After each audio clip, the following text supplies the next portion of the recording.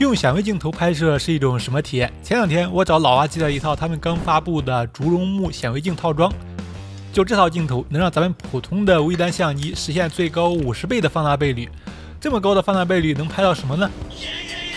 哎，不要急，拍摄之前解决的最重要的问题是抖动。我用上了工作室最稳的三脚架，搭配微距云台，拍摄对象呢，到时候就放在桌子上。补光环节灯是越亮越好，我用了一盏安蒙拉三百 C 加标准照。我尝试的第一个拍摄对象是各位现在看到的物体——屏幕。十倍镜头已经能看到屏幕里的 RGB 像素了，三十五倍镜头像素会更明显。你能看出我这块屏幕的 RGB 像素采用哪种排列方式吗？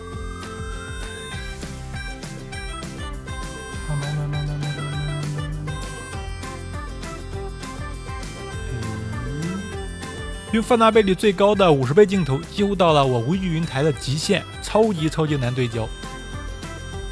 我还试拍过硬币、纸币和数据线，超过十倍的放大倍率，拍视频基本都不用考虑晕镜之类的，越稳越好。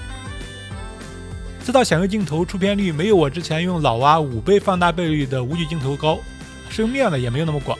不过呢，视频里能拍出几个这种显微视角的镜头，视觉冲击力还是没得说。